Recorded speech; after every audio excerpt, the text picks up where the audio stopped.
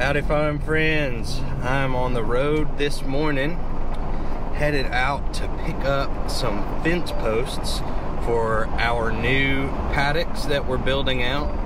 Uh, we are going to build out a fence around our garden area for this year and also build a paddock for the pigs. And we saw a really good deal on Facebook Marketplace, so I am headed up a little northeast of us to pick up some good looking fence posts for a good price.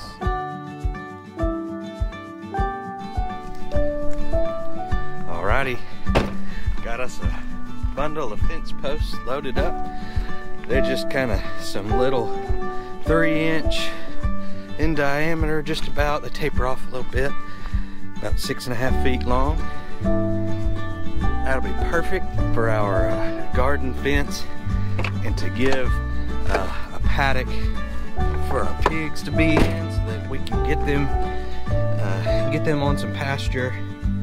Uh, we're going to use them to till up the garden spot for the rest of the winter and we sure are excited about that.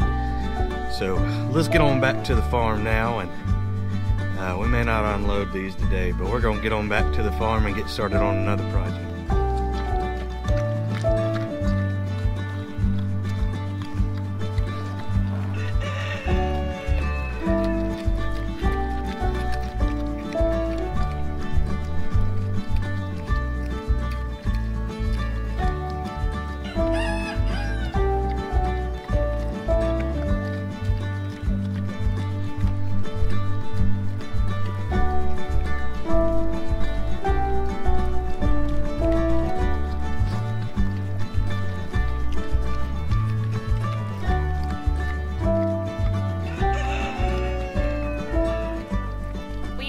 Staking out our garden plot, seeing how we want to do it. We've decided on 40 by 40, but we're gonna measure it out and I have some stakes to mark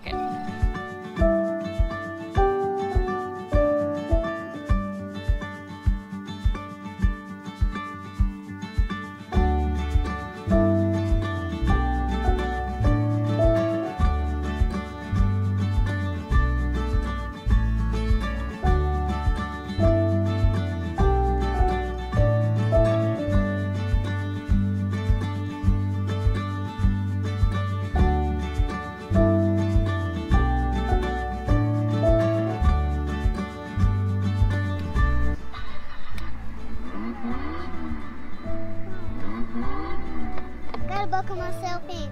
Safety is good, so. Yeah, safety first. Who you got in that Jeep with you? My dog lady. Your doggy lady. You open so you can. Hey, lady. out whenever you Hey, lady. Y'all gonna go for a ride? Yeah, and I have some snack and some extra water. Some snack and some extra water. That is excellent for a road trip. And I and me and lady, that she gets to snack with this too. All right. Well, y'all have fun and be careful, okay? Go down there with me? I'm gonna go down there. I'll meet you down there with you. Okay, baby doll. Let's go down there.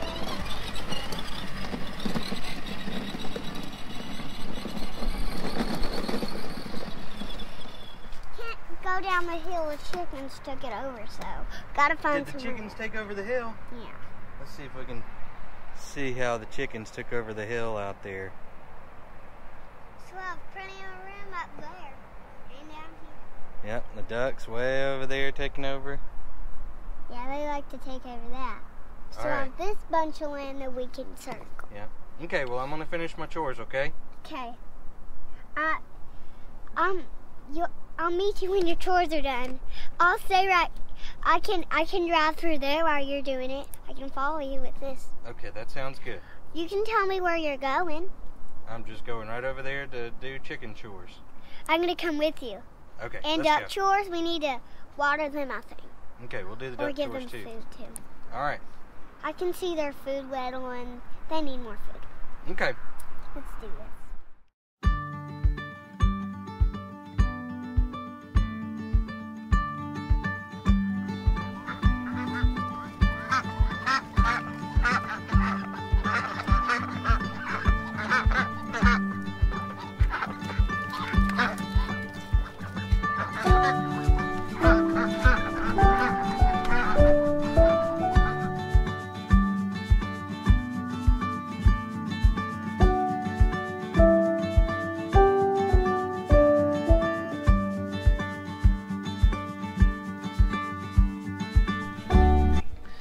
Back at the house and I am checking on our seedlings.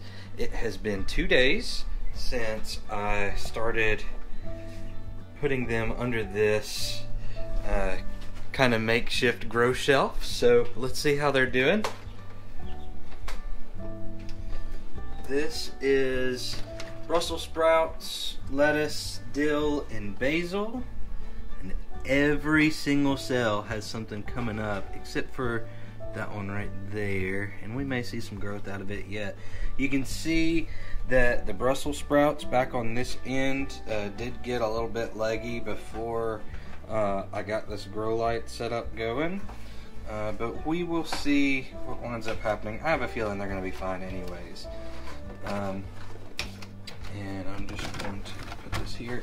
Uh, you can see I've got some cracks in these lids that they actually came in the mail like that. I talked to the folks at Hoss and they immediately, same day, like within 15 minutes of me calling, had put replacements in the mail for me. And uh, so they came in the other day, and I'm gonna put them. I'm gonna switch them out um, today. Let's see here. That one started growing upside down. All right, this one is our tomatoes. Uh, this row back is tomatoes of different varieties. This row right here is our long, slim cayenne peppers.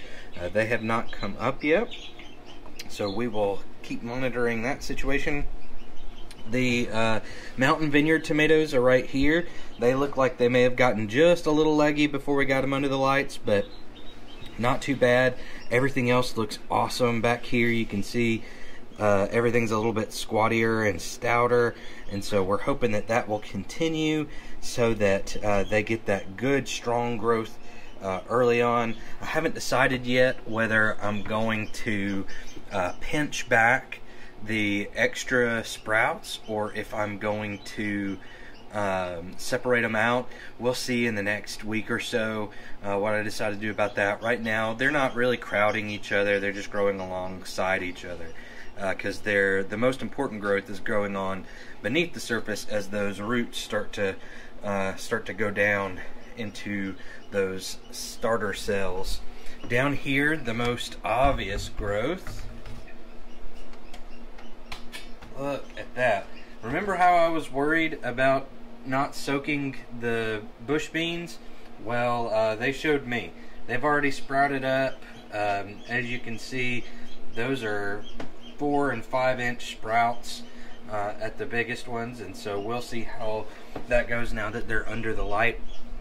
I may, I'm probably gonna find a way to get them actually under the this grow light because right now they're getting light from above still, and that's probably why they're a little leggy. I may be able to push all of this over, turn that. There we go.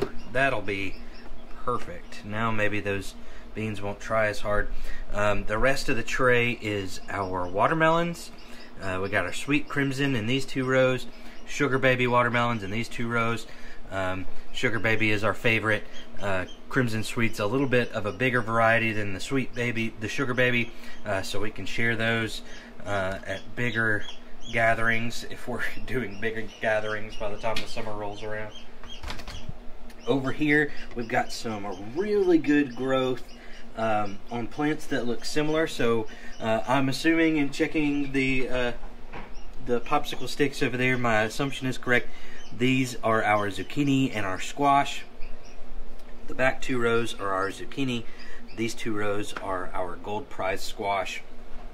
And then these two rows right in here are the national pickling cucumbers that we are super excited about. You can see everybody in there looking like they're getting a healthy start. Alright, let's take this last one off. We have no sprouts coming up in this one as of yet. This is our strawberries and our asparagus. Um, we will keep an eye on it. Hopefully it'll still be fun. it, it looks a little damper than what I wanted, and so I may leave the lid off for the rest of the day. Um, but it may just be taking them a little bit longer to germinate. So we'll see what goes, what happens here. We still have plenty of seeds of both of those things, the strawberries and the asparagus. So if they don't come up in the next few days, um, I may try. I've got another seed tray that I may put them in. But I am excited about this start. We've got some good stuff going on. I'm going to replace the lids that were cracked with the new lids that the awesome folks at Hoss sent us immediately upon hearing that we had some troubles. They were very apologetic and sent replacements right away. And it's it obviously is not their fault if something gets broken. And so I was in the mail, and so I was super impressed by uh, their um, their decision to uh, reach out to us so quickly and send us replacements. Um, that was awesome. So thank you, folks at Hoss. Uh, Greg signed the email, so uh, thanks, Greg. Starting to get a little dark on us today, but it's been a good day. It's been filled with with stuff that we needed to get done uh, that we couldn't do during the week. Uh, we are kind of weekend warriors a lot of the time since we uh, Jacqueline has a full-time job I have a full-time job uh, we run a small business under the name of the farm where we do um, our uh, hatchery but also web consulting uh, and design um, also I have a, a part-time pastoral charge at Forest Lake United Methodist Church in Tuscaloosa and so we are just constantly busy. Never mind having a five year old, right? Uh, but we love it. We, we love our life. It is a charmed life that we lead. Um, but we got some important stuff done. Wanted to show y'all something before I head inside. Uh, something that I'm excited uh, to get to work on. It, it, may be a couple of weeks before I get to work on this project, but the other day I was at our local Lowe's picking a couple of things up, and every time I go over there, I have to go out to the garden center, just see what's going on out there. Even in the dead of winter, sometimes you find good stuff. And I did. They aren't the best, but they had all of these blackberry starts, uh, these one gallon starts, in uh, on a clearance rack. So I got all these things for uh, a dollar each, something like that. Three dollars each. Three dollars each. That's what it was. Sorry. Uh, so a total of, of, 10 plants for 30 bucks. Look, even if it never works out, it's worth the shot, right? So uh, that's about the price of a of a lottery ticket in Georgia, I think. So uh, maybe we'll win the lottery with these blackberries, and they'll be something we can enjoy for years to come. Uh, but if not, eh, it'll be all right. But we will be trying to get those in the ground sometime soon. Oh my goodness. Can y'all see how pretty this is out here? Man, it is absolutely beautiful out here this evening. Anyways, Jacqueline and I are about to finish up some outdoor chicken chores and feed the uh, the pigs, get the ducks put up for the night, and then we're gonna go inside and we are to do one more thing before we wrap this video up, before y'all are done with us today. So stick around. One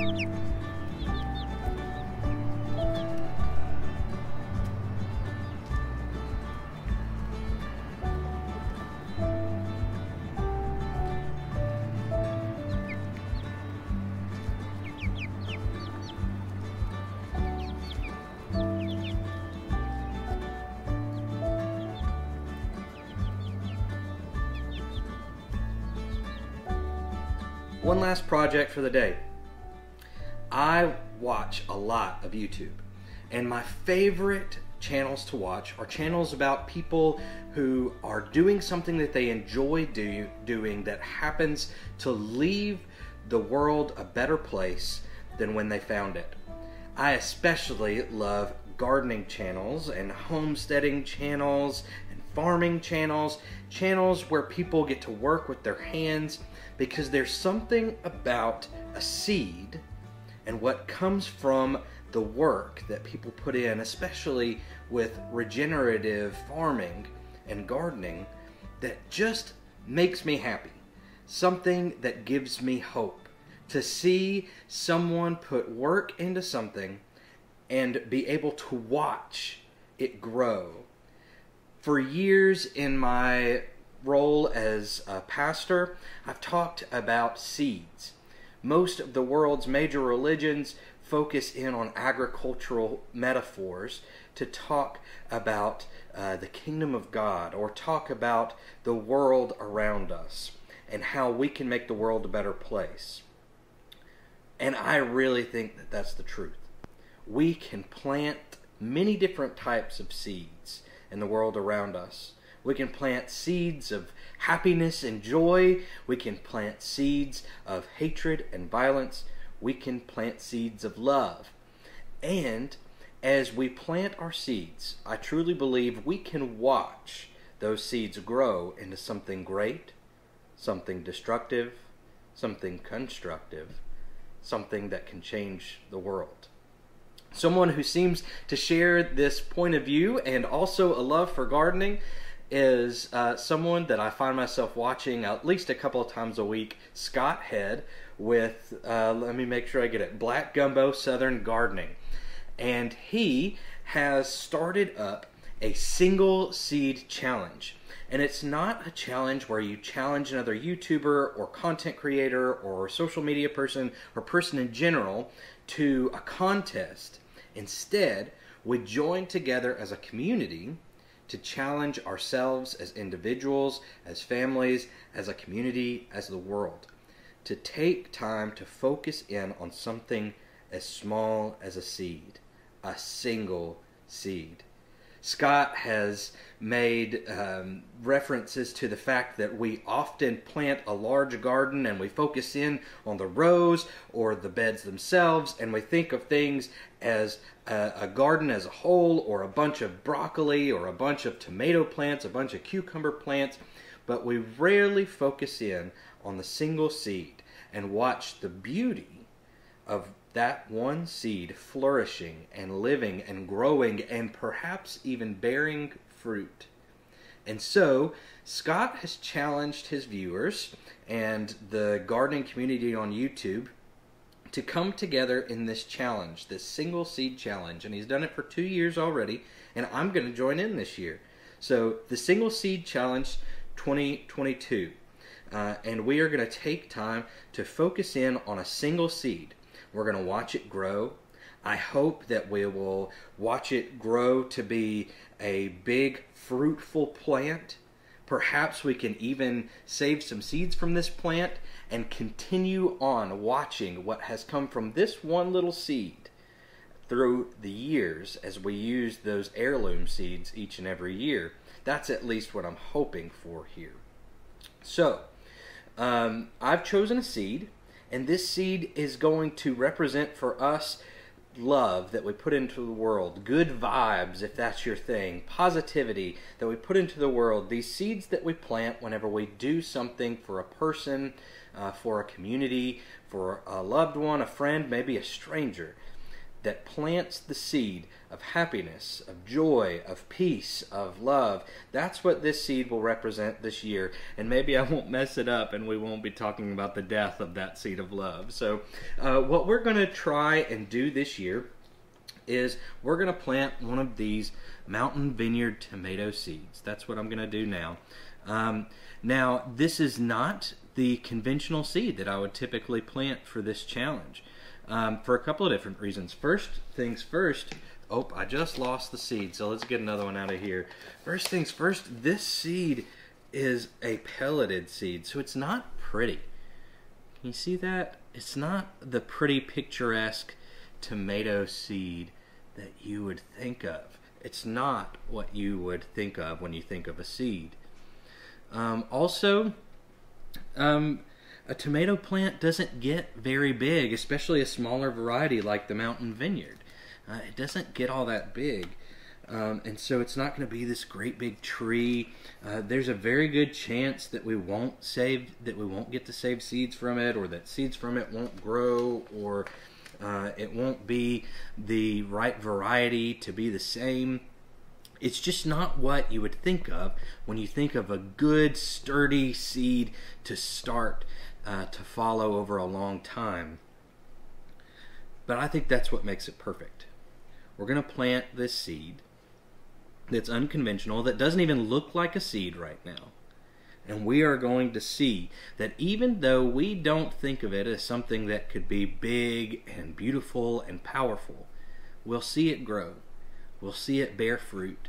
And we'll remember that even on days when we don't feel like we can make much of a difference or we don't feel like we've got the right stuff to change the world around us in a better way, that if this plant can change our minds about what a seed should be and how a plant should uh, should act and grow, then maybe, just maybe, we can change our minds about ourselves and we can see the fruit of our labor, the fruit of our love and happiness and joy and peace that we spread around, growing in the world around us.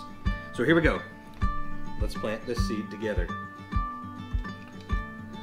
Gonna make my little hole right here and my potting mix.